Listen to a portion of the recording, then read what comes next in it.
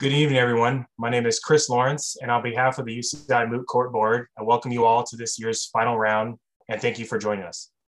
The Moot Court competition is one of the most important educational experiences available to students here at UCI. This competition challenges students to write briefs, participate in oral advocacy, and critically analyze real-world issues. Each year, the board chooses a case. Some are live cases working their way through the circuits.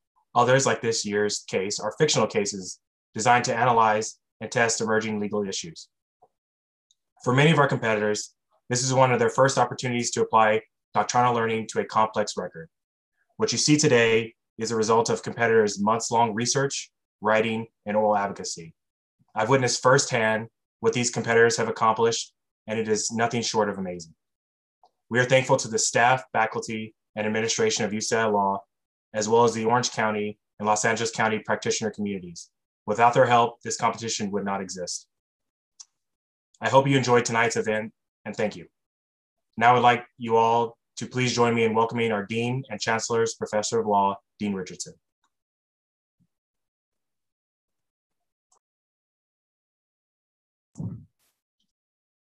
Dean, you're, you're muted.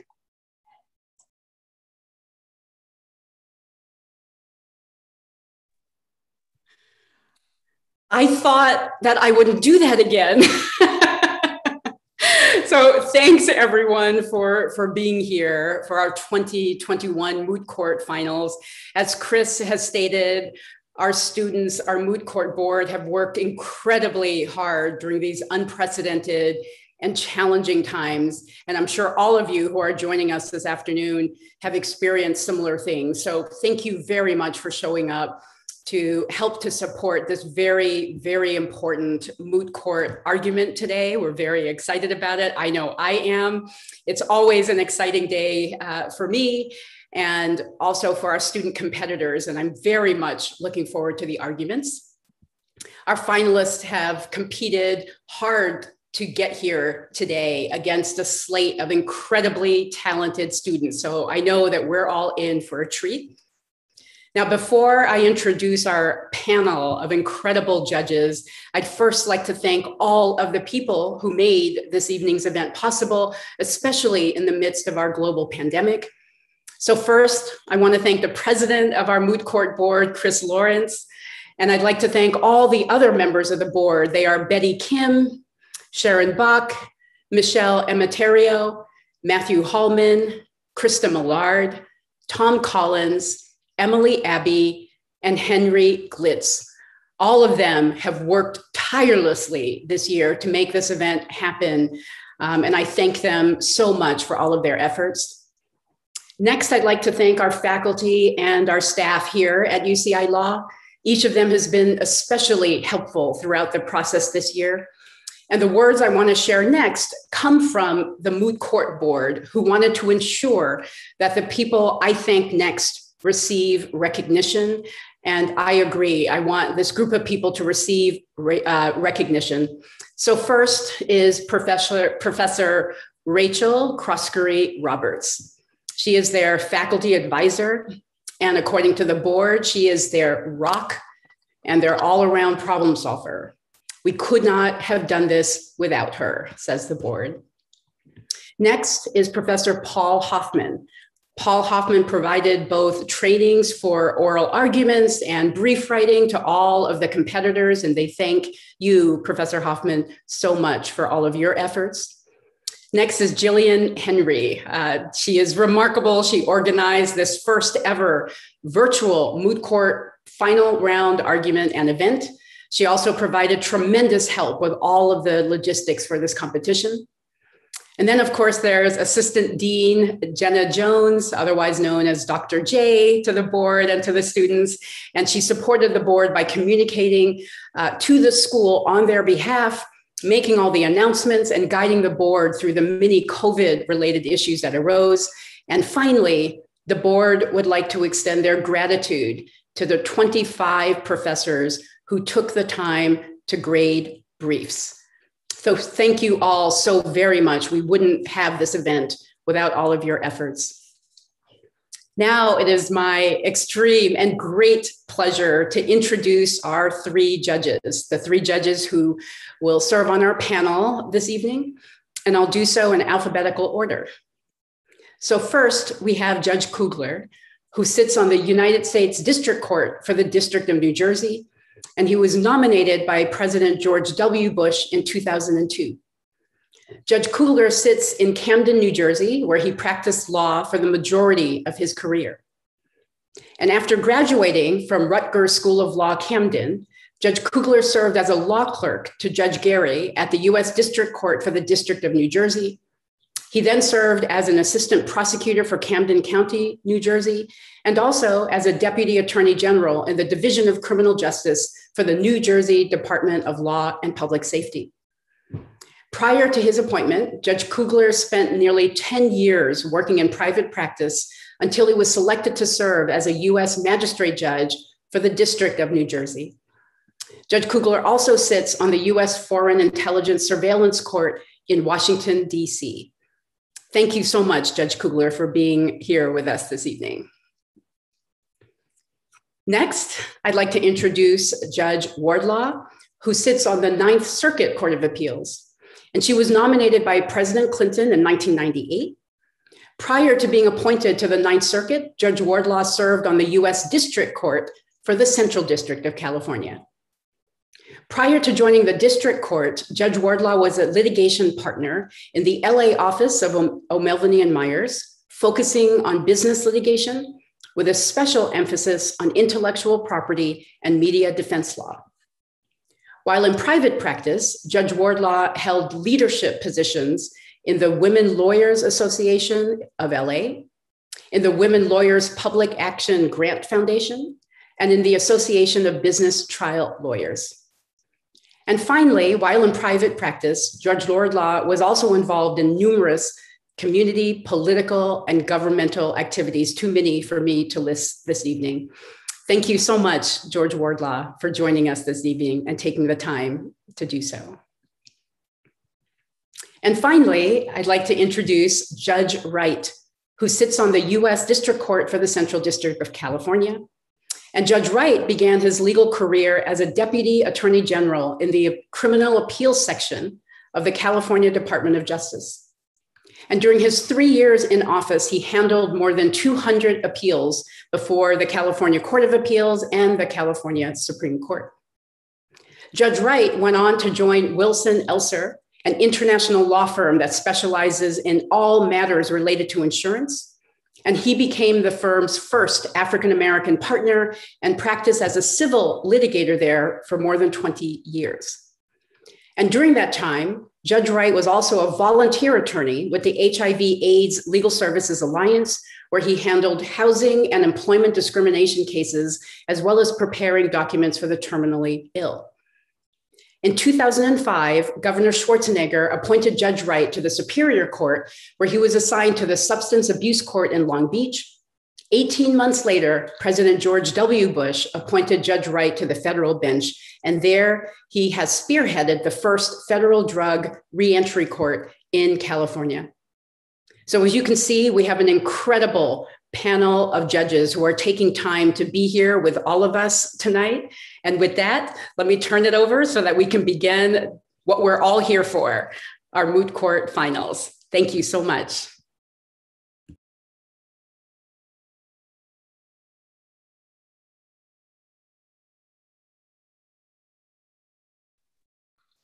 The court is now in session. Chief Justice Wardlaw presiding, along with Justice Wright and Justice Kugler. Thank you. Mr. Johnson, you may proceed. Thank you, Your Honor. Aaron Johnson on behalf of the petitioner, John Schmidt. And Your Honor, I'd like to request three minutes for rebuttal, please. You may, you may have that. Thank you. May please the court. This is a case about detectives' unlawful interaction with an individual's most sacred and safe space, their home. And the right of a person's home to be free from unreasonable governmental intrusion stands at the core of the Fourth Amendment, which also grants heightened privacy protections over the home. Today, I ask this court to reverse the Court of Appeals denial of the petitioner's motion to suppress and find that testing a key on the front door of an apartment is an unreasonable search under the Fourth Amendment for the following three reasons. First, Detective Wilson committed a trespassory invasion of the petitioner's curtilage by unlocking its front door. Second, the petitioner had a reasonable expectation of privacy to a smart lock and the RFID chip embedded in this lock. And third, the respondent's desire to quickly identify the petitioner's home was not compelling enough to overcome the petitioner's privacy concerns. Counsel, this is Justice Kugler. Let me ask you a question, if I might. What exactly yes, is the privacy interest that you're seeking to protect in this in this door lock? Thank you, Your Honor. In the petitioner's eyes, in the door lock, we're hoping to protect the home. In the petitioner's eyes, the front door lock is an extension of the home, and the home, as you know, is listed in the Fourth Amendment. And our goal today is for the court to identify the front door lock as curtilage of the home and therefore extend Fourth Amendment protections to it. Was it important? Again, this is Justice Kugler. Was it important that the door unlocked? Because what I'm what I'm really getting at is this was the third lock that was tried. The first two, it didn't work. Do those two residents of those first two apart- apartments have the same privacy interest that that your client does? They do, Your Honor. The first, not no one's doors should have been unlocked, um, or should have the excuse me, the officer should not have been allowed to test a key on the front door of an apartment home. Um, we're in court today because this court has yet to consider whether or not a front door lock is curtilage of the home. So therefore, there was not a, a warrant was not required for law enforcement to interact with the front door lock. So their privacy interests were, are, were impacted, and most importantly, the petitioners were because in his case, his door was unlocked, which well, it, not. Counsel, again, is it the what? What is the privacy that you seek to protect? The fact that that your client perhaps lived in this apartment, his address is that was that the privacy right that you're seeking to protect? Your Honor, two yes, two things: the fact that his front door lock was interacted with, and also that his home, his address was discovered through improper and, and in the petitioner's eyes, unlawful means by testing but, the front door. But how testing the key? How private is is his address? How private is anyone's address? I mean, every day we're giving our home addresses to government agents. You file a tax return, you want a refund, you tell the IRS and the California state taxing authorities where you live.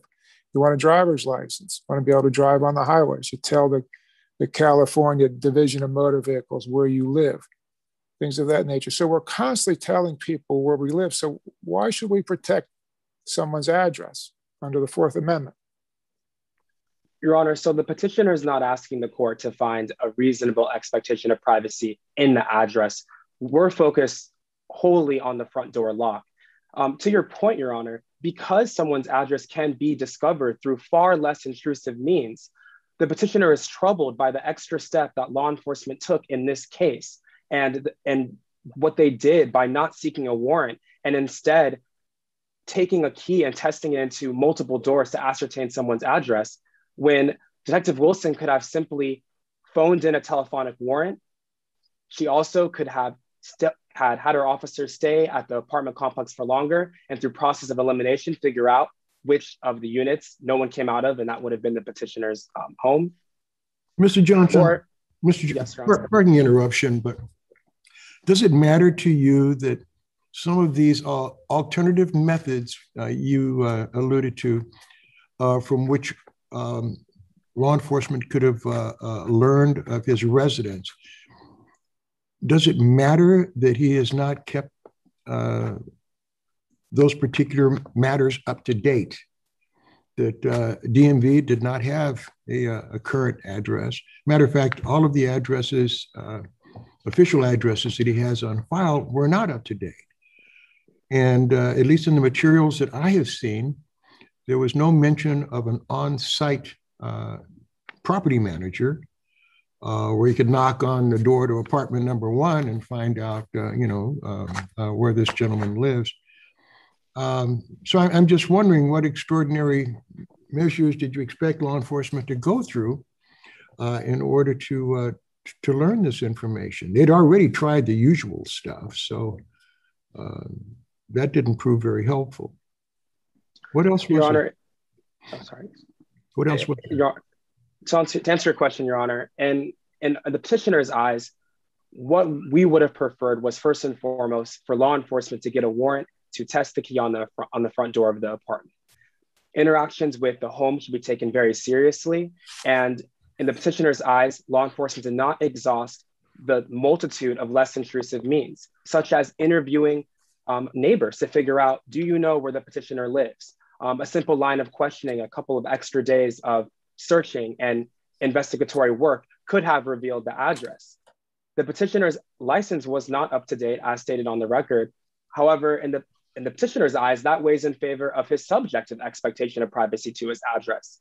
While, uh, while addresses are free and floating around the internet and somewhat easy to obtain in our digital world, people still have the right to keep their address private if they so choose.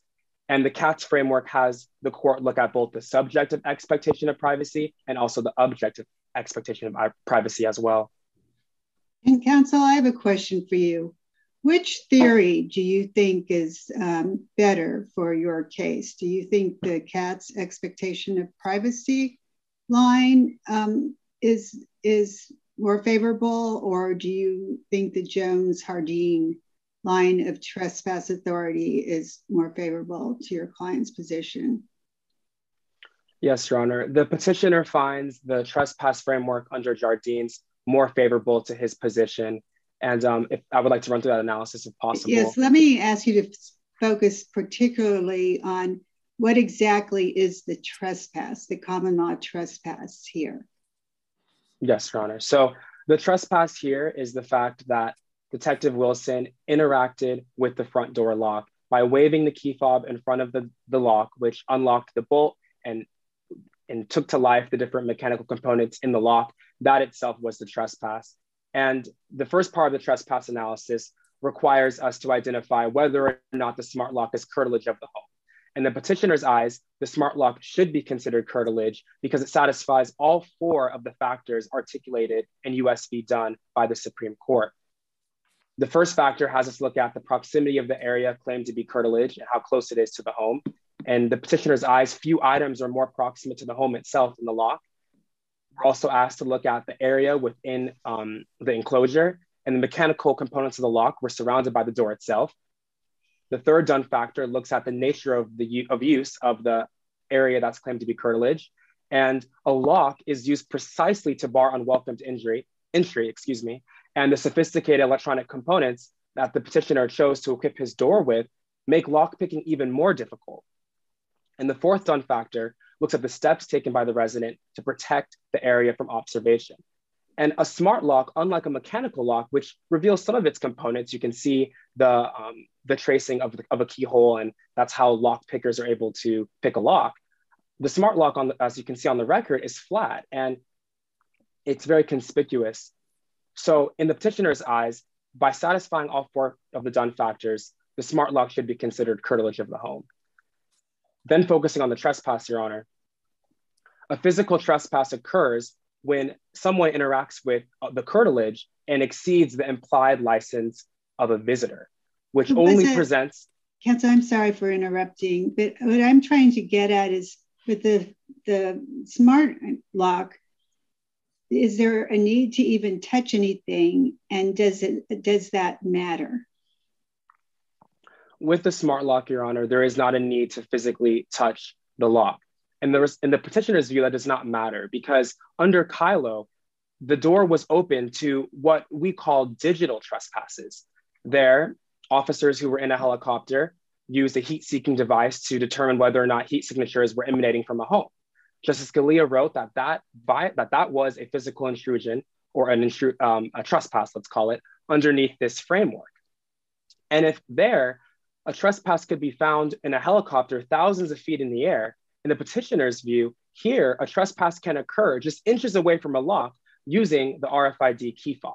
So in the petitioner's view, there was an there was a physical trespass using the, digi the digital signal, um, and also the lock was affixed to the door.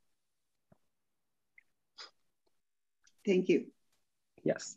But let me let me ask you when you're on the Jardines issue. This is a little different, isn't it? In Jardines, I think we made a point of talking about the actions of the government agents discovering what was inside the home. The actions of this agent did nothing to discover what was inside the occupant's home, correct? Correct, Your Honor, because the door was um, simply unlocked and then relocked.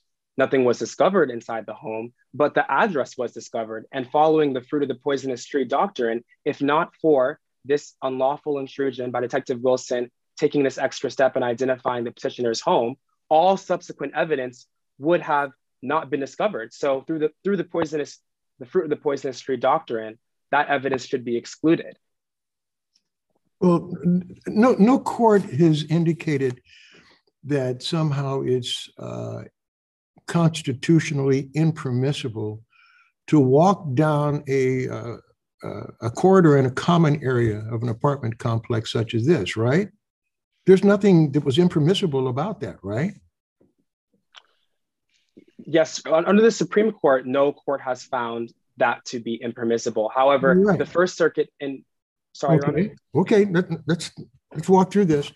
Sure. So there's no, there's nothing wrong with that. Indeed, uh, if, if, someone were there to visit this gentleman, uh, they'd walk down that corridor to his front door, uh, knock at the door, uh, wait for a few moments to see if there was a response, and if no response, they would leave. Right now, um,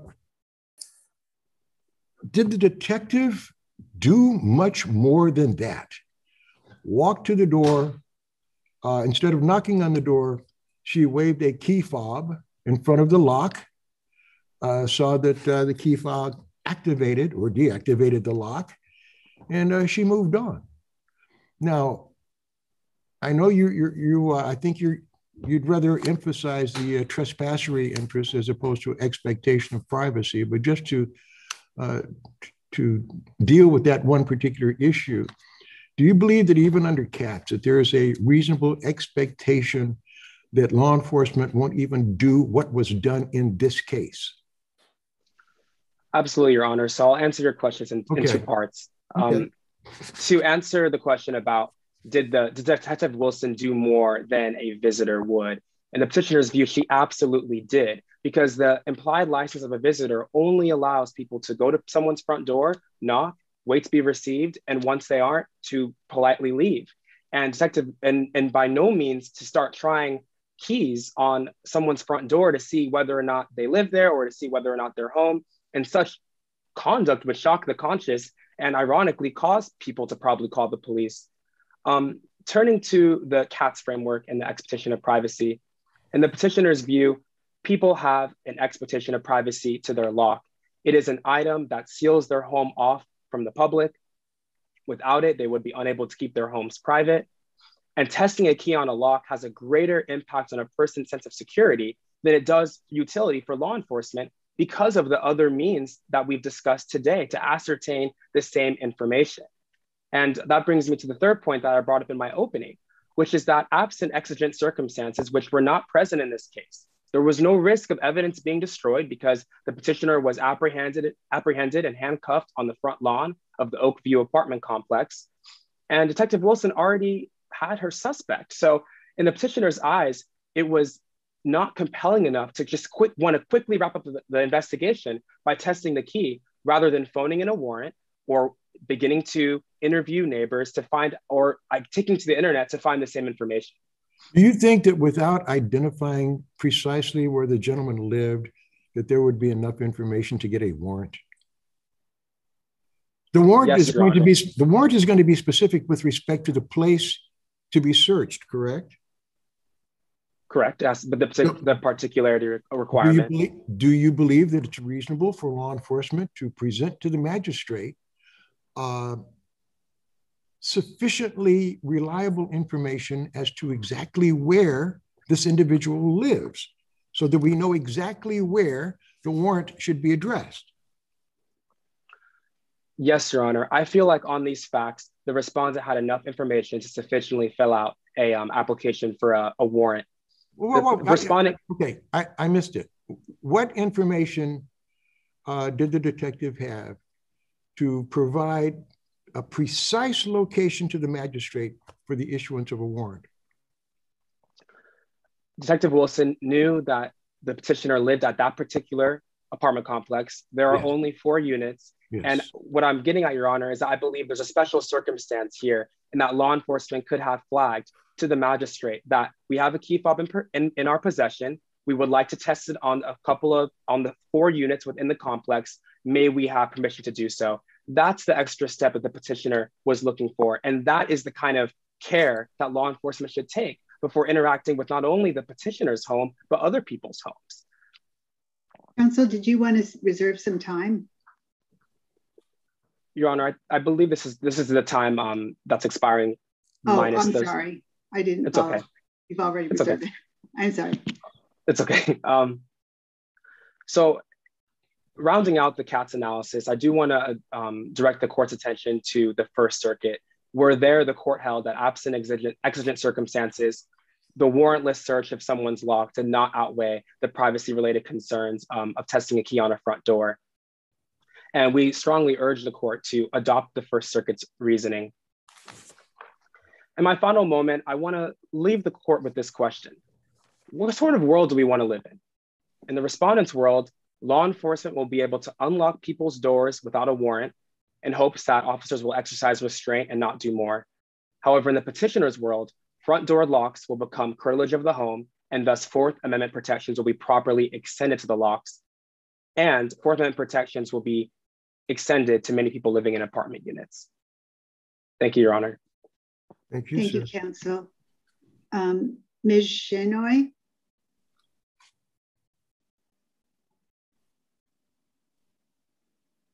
Hi, I'm here. I can't uh, turn on my video. Um, if the host can please do that, I would appreciate it.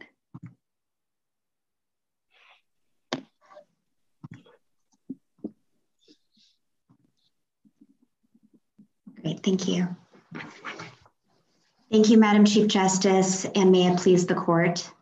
Akila Shenoy on behalf of respondent. Your honors, looking at the totality of the circumstances in this case, this court should affirm the Ninth Circuit's decision denying petitioner's motion to suppress evidence and find that the reach of the Fourth Amendment does not encompass petitioner's claims for two principal reasons.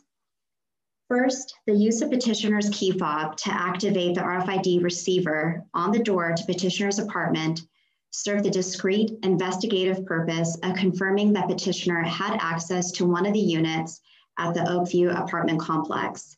It was not to discover intimate details about the petitioner or of criminal wrongdoing. Second, even if this court finds that a search occurred, the search was reasonable in light of the legitimate governmental interests and the minimal degree of intrusion upon petitioner's privacy. Therefore, a warrant was not required. Post US v. Jones, there are two ways in which the government's conduct may constitute a search implicating the Fourth Amendment. First, a Fourth Amendment search occurs where the government lawfully, unlawfully, physically occupies private property for the purpose of obtaining information. Second, a Fourth Amendment search occurs when the person invoking its protection can claim a legitimate expectation of privacy that has been invaded by government action. Your Honors, this case falls squarely within the Katz framework as there was no physical intrusion when the RFID sensor was activated. Shenoy, may I ask you a question? This is Justice Kugler. Your adversary, one of his final points, I thought was well spoken. What sort of world do we want to live in? Do we want to live in a world where police officers or agents of the government can walk up and down hallways of residential buildings trying to find out who lives where? Is, is that really where we're going with this? And Your is that Honor, a good thing? Thank you, Your Honor. Um, so the reason why this court developed the Katz test was to protect against electronic intrusions. Um, just because uh, we have advancing technology doesn't mean that uh, the uh, Fourth Amendment falls out of the picture. Um, in these cases, uh, the court, this court uses uh, the Katz framework And um, I would like to um, just note that um, in the Kyllo case that petitioner brought up, um, that that this court actually uh, applied the Katz framework in that in that case in order to arrive at the conclusion that it was an unreasonable search. Um, it was not the Jones analysis, the trespass framework. Um, in US v. Jones, this court said that in situations involving merely the transmission of electronic signals without trespass would remain subject to the Katz analysis. Here, um, so, but you're, um, but first of all, we all recognize that Kyllo predated Jones and Jardines, if that's how you pronounce it. Um, but that trespass theory has was part of the founders theory of the Fourth Amendment itself. So that's never gone away. And your opposing counsel um, made a good argument that there was, in fact, a trespass within the meaning of the Jones and Jardines case because the fob, the key fob, the lock fob, key fob was used to uh, radiate signals to the lock and thereby open it. How do you deal with that? Well, I, I, deal with that by going back to the, the Jones case. Um, there, this, this court acknowledged that the common law trespass theory, which was no longer being used post Katz, was still in play, that the uh, analysis added to the Jones test did not added to the common law trespass test did not take away from it.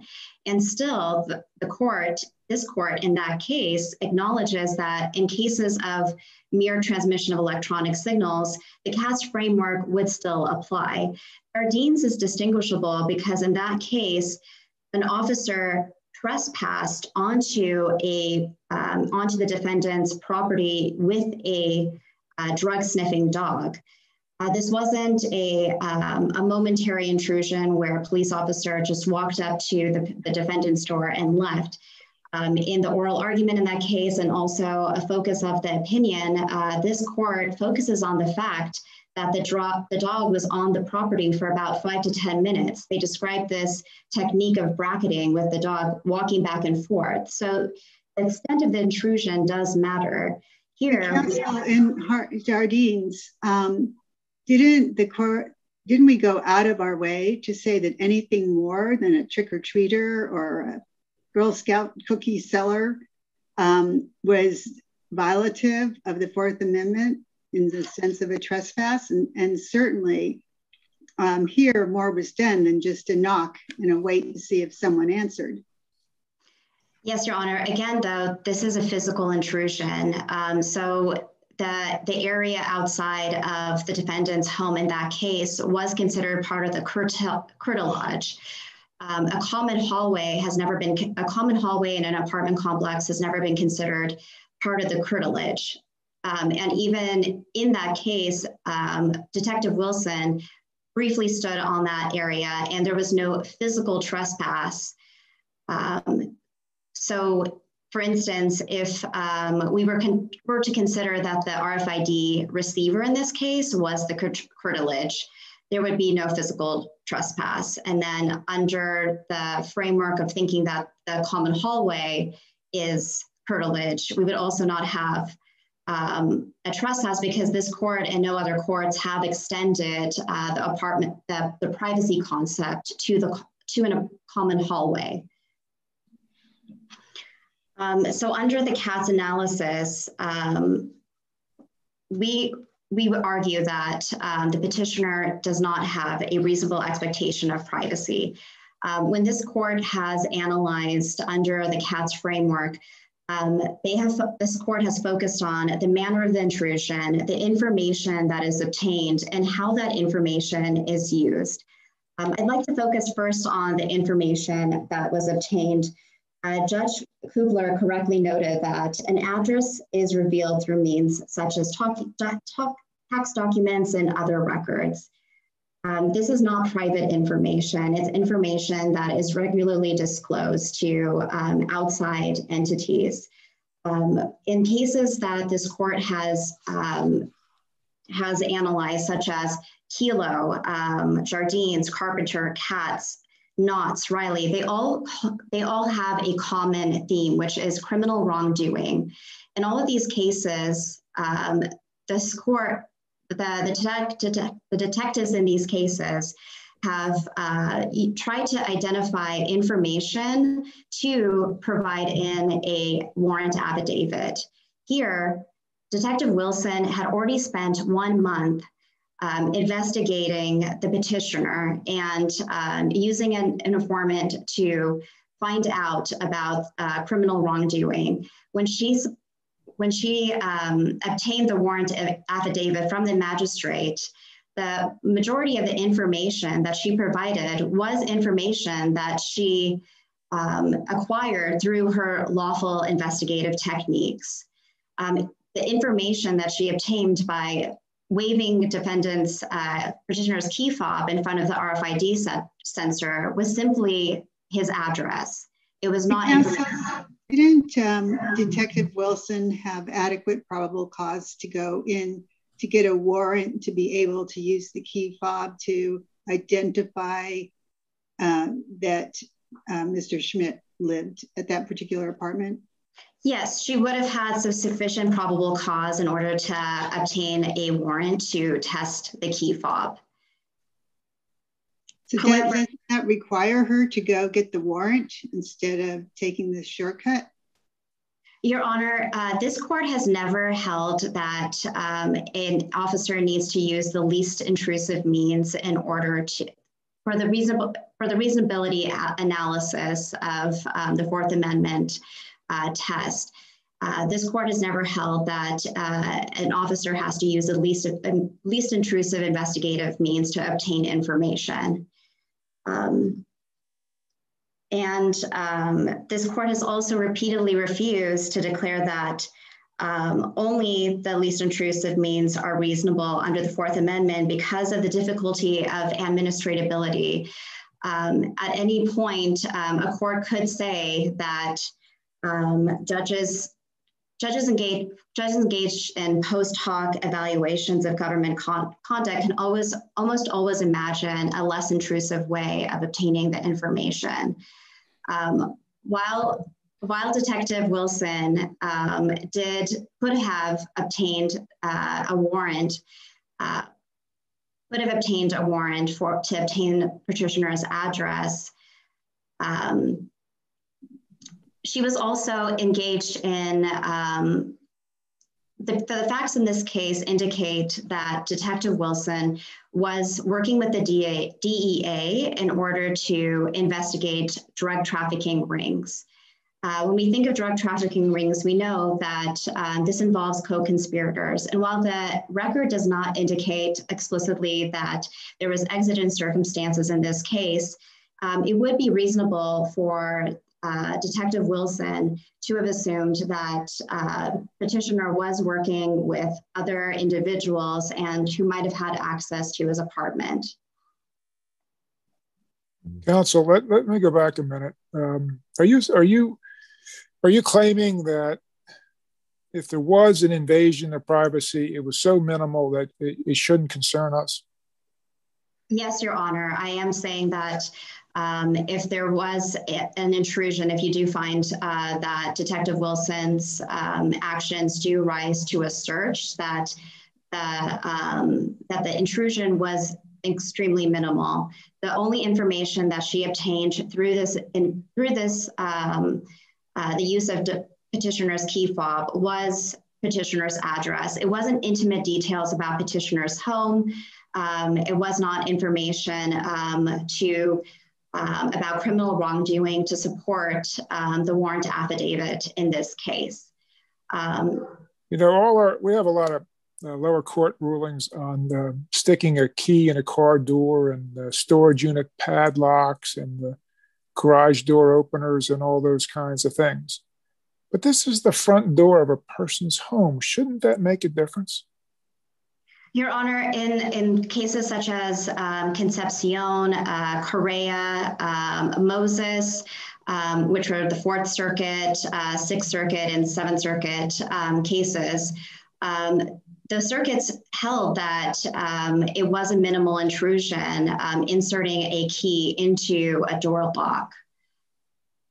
So there is support on the on the circuits um, that uh, that this shouldn't rise to the level of a of a search. I'm I'm curious about one thing. Um, and I could be wrong, but it, it seemed to me that uh, part of your rationale for uh, not finding a Fourth Amendment violation is the fact that uh, this door is off of a common area uh, used by certainly at least half of the uh, the residents of the apartment complex and their guests. Um, now, I, I, perhaps I'm, I'm wrong about that. Is that your position? No, that is not our position, Your Honor. Um, we're not saying that a person in an apartment complex has a reduced expectation of privacy simply because they are in an apartment complex. Um, my statements before um, were simply saying that um, in an apartment complex, the curtilage, um, the, the area that's considered the curtilage is going to be different than um, a residential property. And, you know, this doesn't matter if a person is a renter or not. I mean, there are people who rent houses, for instance. It's just a matter of uh, property boundaries. And also the fact that um, in an apartment complex, there's just happens to be shared areas.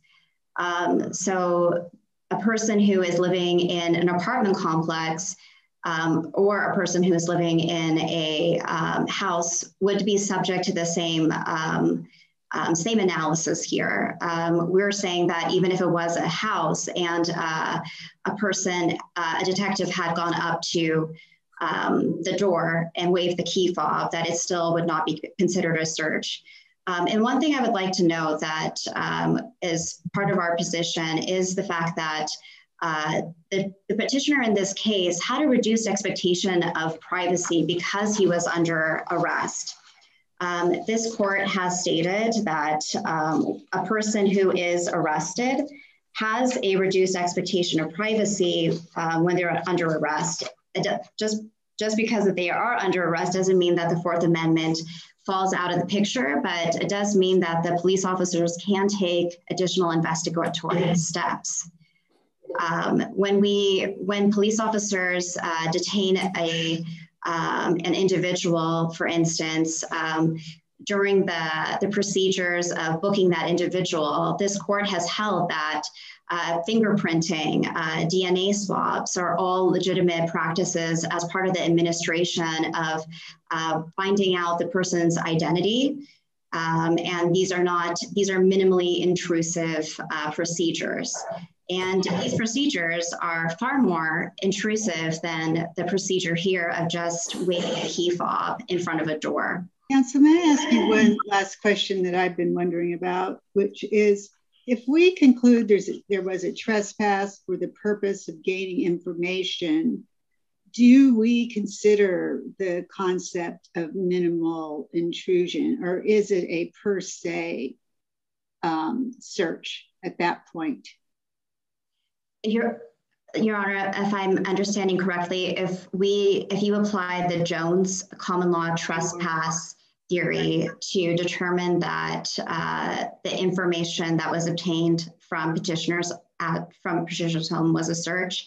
Um, I believe that um, this court has held that is a um, that is presumptively unreasonable. So they would skip the uh, reasonability analysis. That is correct, Your Honor. All right, thank you.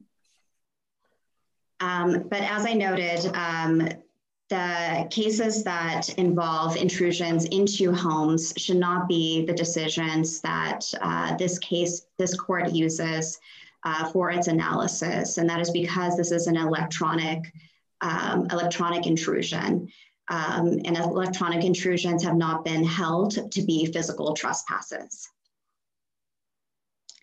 Um, any policy concerns that this court might have um, should also be, um, there, there are also no policy concerns uh, that this court should be concerned about by allowing um, this type of a search. Um, this is not the same as uh, SWAT raids, no knock warrants, or dynamic style entry. Um, here, detectives would simply be able to uh, test a key on a door um, in a uh, in in a circumstances of lawful arrests, um, and these type of minimal invasions would not elicit the same reaction from occupants that uh, we've seen in cases involving uh, no knock warrants or SWAT raids, for instance.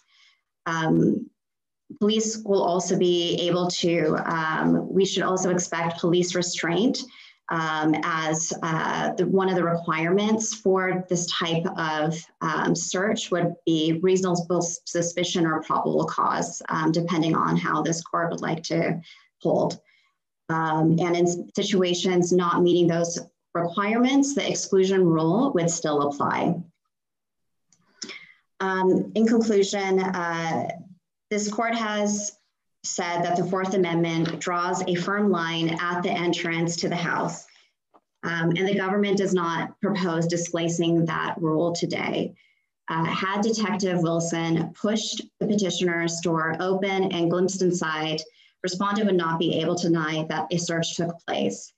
Um, under the totality of the circumstances in this case, uh, this court can answer the question presented in the negative. Uh, the holding, as I mentioned in this case, can be narrow. The government is not asking the court to give the police unfettered access to test a key on anyone's door. Rather, a key that is lawfully seized incident to arrest um, could be used for the purpose of simply identifying an arrestee's residence. Um, if your honors have any additional questions, um, I'm happy to answer them. Not I. Not me either. Thank right. you. Thank you. Thank you, Counsel. Uh, Mr. Johnson?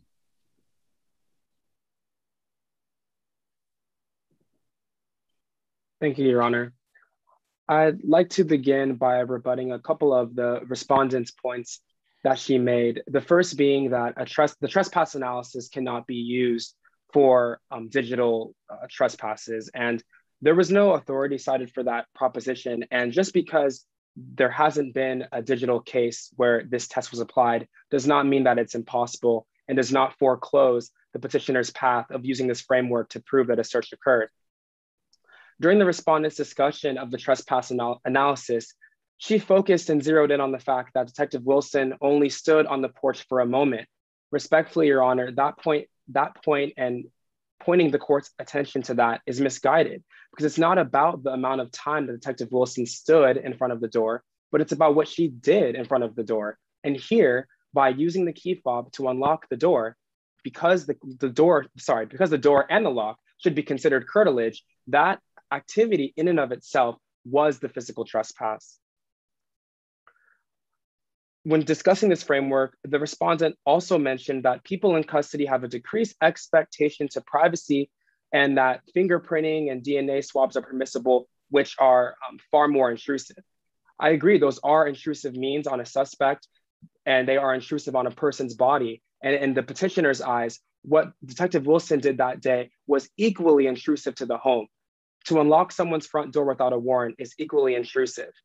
And on these facts, there was no one inside, but what if there had been? What if there had been someone inside who would have been panicked by such conduct? And while the Supreme Court has the opportunity to make a narrow ruling, the Supreme Court, I, the petitioner urges the Supreme Court to think globally when making law that will be applied across the nation. I want to spend a little bit of time discussing the Katz framework because if the court is persuaded that's the framework to move forward on, um, I want to ensure that the petitioner has made his argument we all agree that there was a subjective expectation of privacy because the address was concealed. And when looking at the objective prong, it is important to consider whether or not law enforcement utilized and exhausted less intrusive means. The respondent mentioned that law enforcement is not required to do so. However, under US v. White, this balancing test is a part of the objective analysis. And I urge the court to, uh, to engage in this balancing today and think about whether or not testing the key was sincerely the last available means to, to ascertain this information, or if there were less intrusive measures that Detective Wilson could have taken. I also want to cite a couple of cases. In US v. Hicks, the court stated, a search is a search even if it discloses nothing more than the bottom of a turntable. The respondent kept mentioning that the information that was received was simply an address. And I suppose because it's public or it could be public that there's a diminished expectation of privacy. But the fact of the matter is, it's not just the, sorry, um, I've exhausted my time, your honors. Let me, let me ask you one last question. Early in your, in your argument, you said that you were, you were not going to concentrate on Katz. You wanted to concentrate on the trespass curtilage argument. Do you still believe that's the best way to go? Your Honor, the petitioner still believes that's the best way to go because we would like the front door lock to be considered curtilage of the home, and therefore by interacting with it, it would be a trespass. I mentioned Katz simply because I wanted to demonstrate how the petitioner has presented enough arguments to be persuasive on either front. Thank you. All right. Thank, Thank you, you counsel. Um, this session of the court will be adjourned for this time.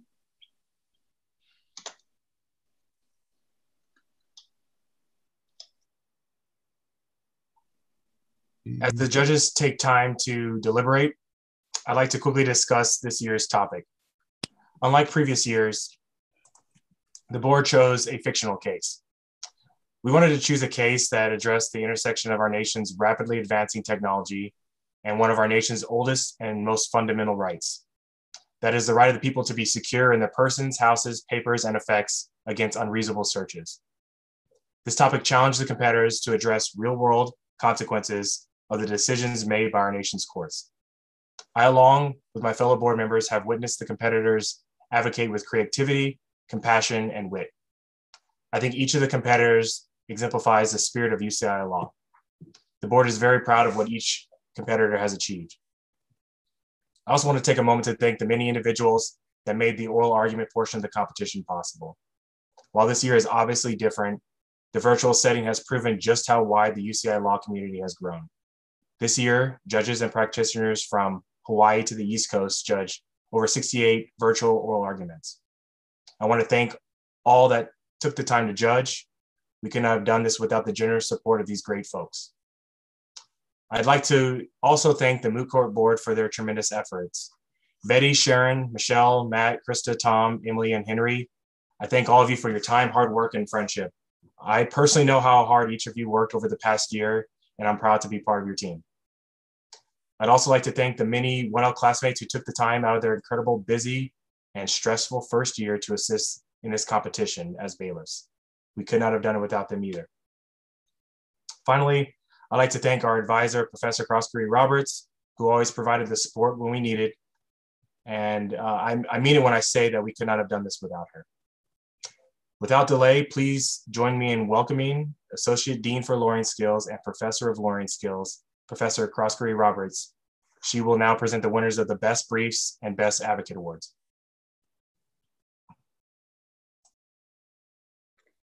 Hey everyone. Um, as Chris said, I'm Rachel Croskery Roberts. I am the Associate Dean for Lawyering Skills. This is also my 10th year as the moot court advisor at UCI Law School. Um, I first of all, I just want to say how exciting it was to see everyone pull this off and see this come together today. I think it was an amazing argument we watched. Over the years, I've been really astonished by the amount of work that students put into moot court, and that's been especially true this year. So while the judges are deliberating to determine the winner of this year's competition, I get the benefit and the honor of presenting the awards for Best Brief, Runner-Up Best Brief, and Best Overall Advocate. Um, for those who aren't aware, in this in the UCI Law Moot Court competition, students argue as individuals, but they draft their briefs in teams. And so the, the best brief awards go to teams. I'm going to start with the team winning the award for runner-up best brief. So the runners up are Christy Kang and Samantha Wu. So I want to just congratulate Christy and Samantha. If we were in an auditorium, we would all be shouting and clapping right now. I hope you're doing that at home.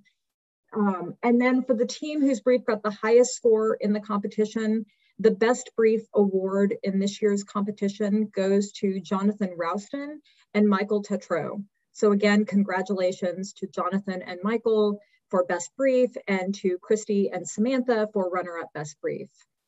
this year, the Moot Court Board decided to add one additional award for Best Overall Advocate.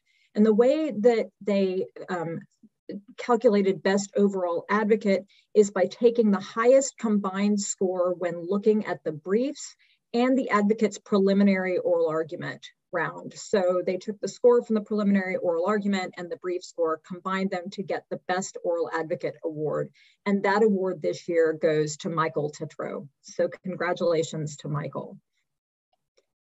So the, that's the, the, the awards other than again the awards for this final competition and the judges are making that decision right now and so for now what we're going to do is just wait um, I am also going to spend a little bit of time in closing remarks after the judges issue their ruling, thanking this year's board, um, which is just remarkable, and the judges. Um, but for now, we're just going to take a break and wait while the judges deliberate, and then um, they will come back and deliver their verdict. Right. So this was a very, very difficult decision for us, as some of you might have heard.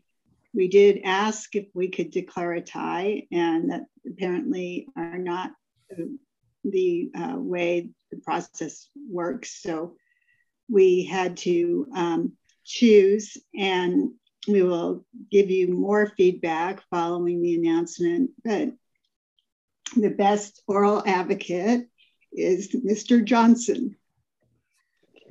Thank you, Your Honor. Congratulations.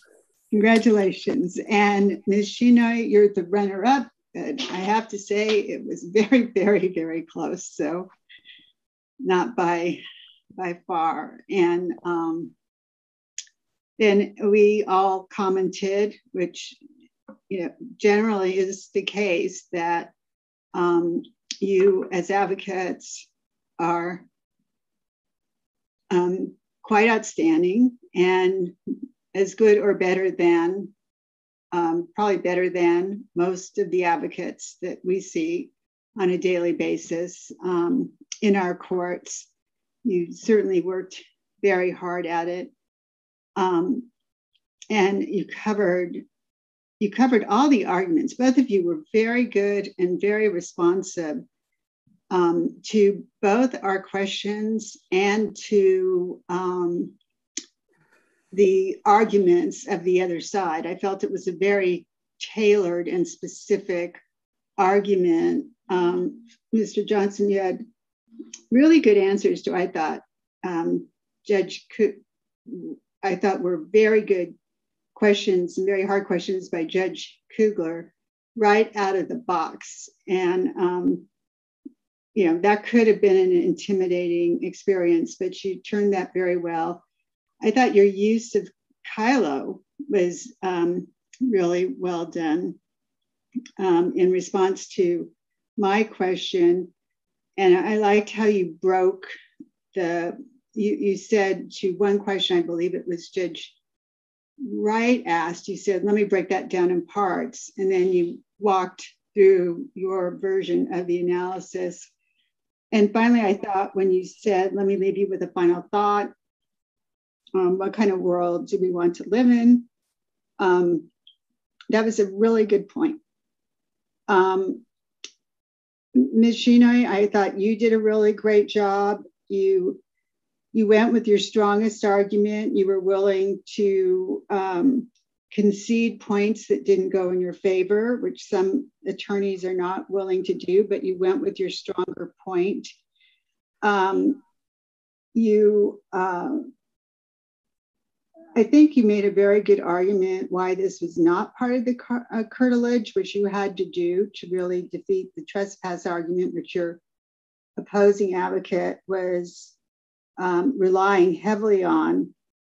Um, and you didn't use all of your time, but you didn't need to. And that, that's very good for lawyers to know when they should sit down, you know, when they've got the, they've got the court with them and uh, just adding more argument isn't going to win them the day, and the judges are going to really appreciate that um, you didn't uh, hammer in on on things where that you already had the court. So um, all in all, it's a very impressive, impressive performance, and congratulations to both of you. How about if, if I go next? Um, All right.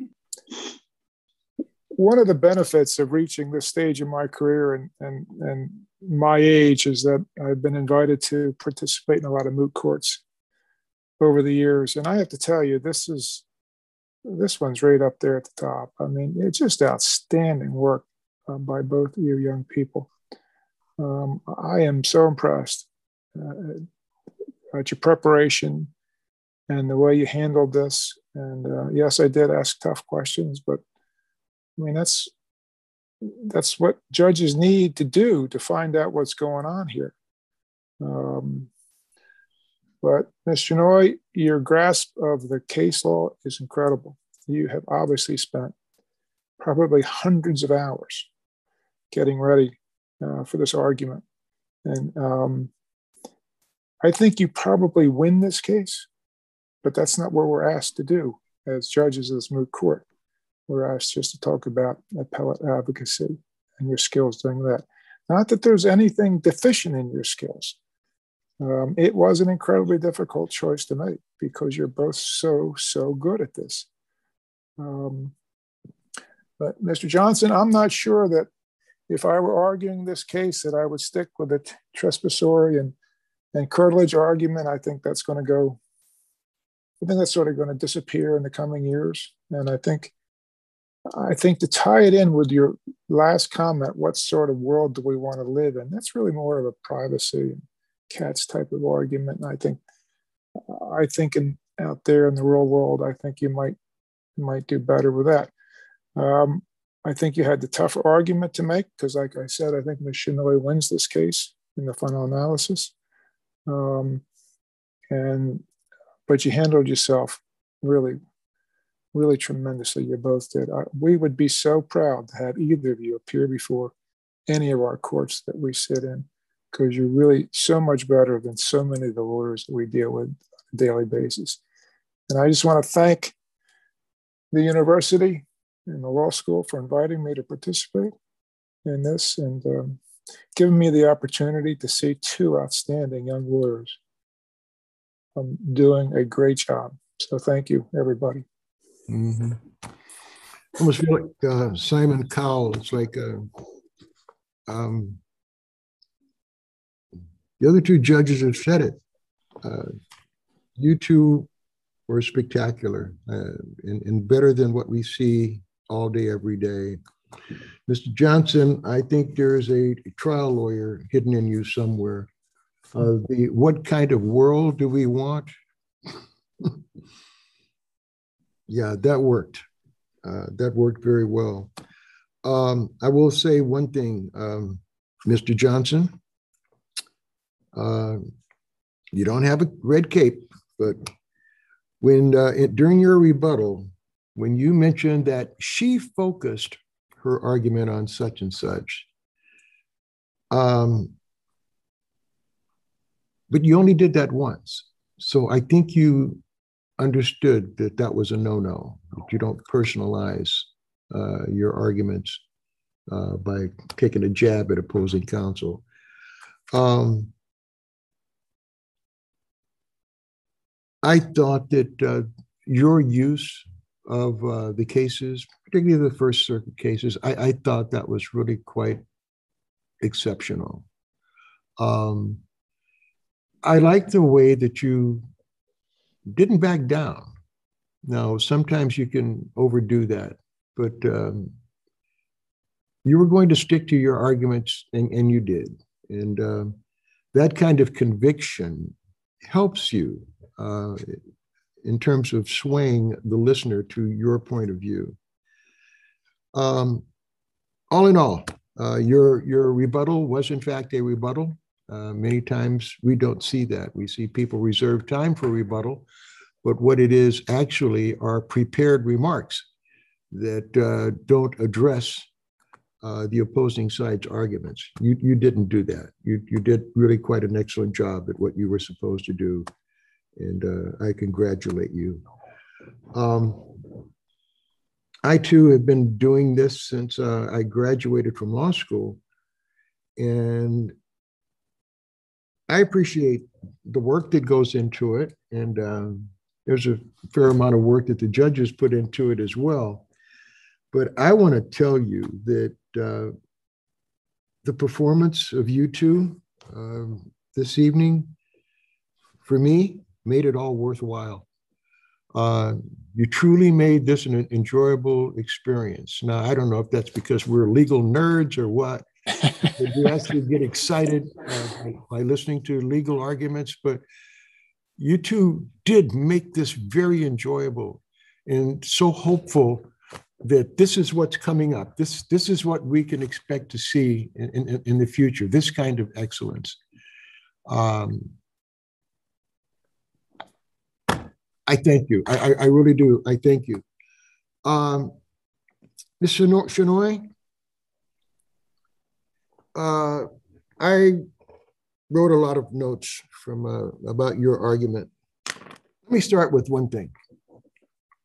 Having done what you all are doing, I, I know how nerve wracking it is at the very beginning. Okay.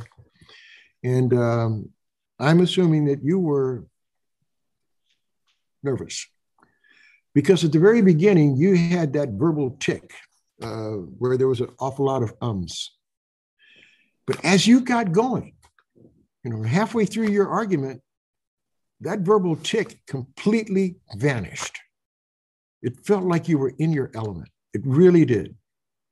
Uh, you were arguing like a seasoned lawyer, and I thought you were superb.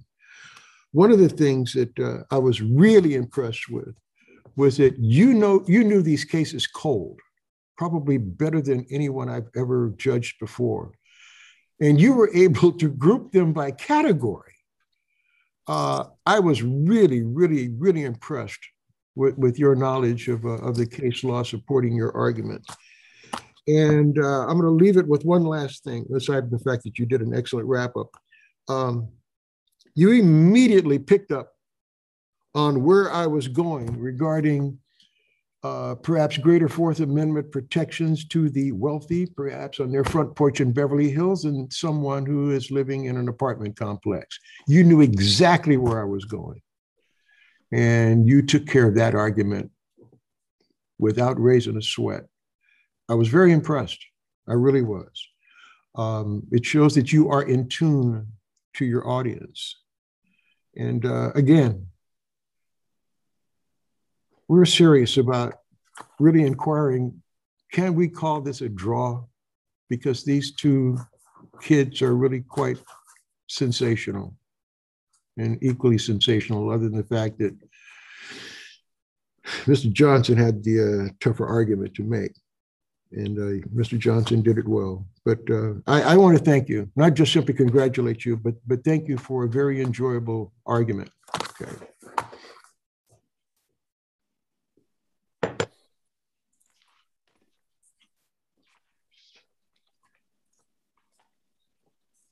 So I think, uh, Dean Richardson, do you want to say something before I, I close this out? I, I, I do. I, I just have to um, echo the words of our, our judges, uh, Akila, Aaron, truly extraordinary. I am so proud, so proud of all the work that you put in. I my only regret is we couldn't be together live but I didn't even miss that.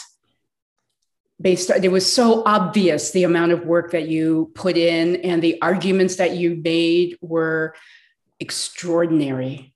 I, I really am so proud to be the dean of a law school with the caliber of the arguments that we heard today. So thank you so much. And I also want to thank our, our three judges for taking the time to be here too. Thank you for, for doing all of this and the incredible feedback um, that you've given to our students. And thank you to the Moot Court Board. But I know that Professor Croskery Roberts will do all of that. But I just had to say, I'm not supposed to say something at the end of this, but I was so moved by the extraordinary arguments. I, I had to say something to you both, to the board, and to all of our judges. Hey, I just add one thing. I I think you're well aware that I wrote, um, I authored on behalf of our court, uh, United States versus Dixon, which you guys sent to us as an addendum. So I was particularly interested. Some of the questions I asked were things that I have been mulling over and did I get that right? And, you know, just wondering how this is all going to play out. And um, in fact, Ms. Shenoy, one of the one questions I asked you was one that we struggled with at oral argument, and you answered it very well. I just wanted to let you know that about the minimal intrusion. Because um, I'm questioning whether the minimal intrusion has any place in the property rights analysis um, myself, just as a judge and a lawyer and you know someone who loves this stuff. So thank you for the problem. It was very interesting. It was indeed. So I get to I have this space that I'm sitting in where I am the thing standing between you and your dinner, or for a few East Coast people, you and bedtime. So, um, so I, I promise I will keep this very short. Um, I, but I just have to add and echo my thanks, um, first of all, to this esteemed panel of judges, Judge Wardlaw, Judge Wright, and Judge Kugler. It's just really amazing to have you with us. You were so plainly, beautifully prepared. You asked tough questions. You challenged our students um, in a way that made it exciting to watch. Um, and uh, and to do this in the middle of a pandemic, right? You know, when everything is um, in upheaval, we're just truly, truly grateful. Um, and then I have to again congratulate our finalists, Akila and Aaron, um, just an amazing job. I know everybody keeps saying it, but um, I literally was getting, I have my phone here and I'm just gonna, since we get to do this in this kind of environment, I'm going to say, I got, I got emails about your performance as, you know, as it finished, my, the emails started coming in from people talking about how close it was and how amazing you guys were. And um, so it's, um, I, you just should be so incredibly proud of yourselves. Um, and the other thing I want to say to the other people on this call is that you know we are heaping praise on these two competitors as we should be. But please recognize that there were many many competitors involved this year um, who put in hours and hours and hours of work tireless work um, to be a part of a competition in a year where there's not a lot of recognition for that, right? Because this final one, we're all here together, but there were a lot of rounds that where you had lots of your classmates doing um, incredible work um, behind the scenes, and you're not seeing that. So I encourage you to reach out to other competitors and congratulate them as well. And then finally, I have to offer my deepest thanks to this year's Moot Court Board planning and executing, you may not be aware of this, but planning and executing a moot court competition of this caliber and size is an astonishing amount of dedication and work in a normal year, right? When you don't have to try to do this um, remotely in a pandemic. What this board has done is nothing short of remarkable. I, uh, it's just been, it's truly been an honor to work with this group of students um, I they know I've said this a million times. So for them, this they've heard this before, but I seriously keep asking them: Is there a way we can convince you to just put off graduating so you can do this all over again? um, surprisingly, they turned the request down. They want to graduate. Um, but I tried, I did. Um, and so I'm looking forward to the next board being just as wonderful, but you have huge, huge shoes to fill. Um, I don't normally name every board member. I hope you'll indulge me this year because I really want everyone to know. And I know Dean Richardson mentioned them at the beginning, but I just want to make sure you know who to reach out to and congratulate for pulling this off this year. The Moot Court Board Chair is Chris Lawrence. Our two vice chairs are Sharon Beck and Betty Kim. We had two directors of judicial relations working to get the judges for all the rounds, um, Michelle Emeterio and Matthew Hallman. We had two people who crafted this incredible bench brief and went round after round working on it, Henry Glitz and Krista Millard. And then finally, we had two directors of internal relations, Emily Abbey and Tom Collins. So again, I just, I had to do a shout out to every single one of them because just an outstanding group of students who are gonna go off and do truly great things. And that's it. That's it for this year's competition. Um, the board can now breathe a sigh of relief. The competitors can breathe a sigh of relief. Um, thank you so much for attending this year's 2020-2021 Moot Court competition. and we'll see a bunch of you around this time next year. Thank you again. Thank you, guys. Thank you, everyone. Thank you, everyone. Good night.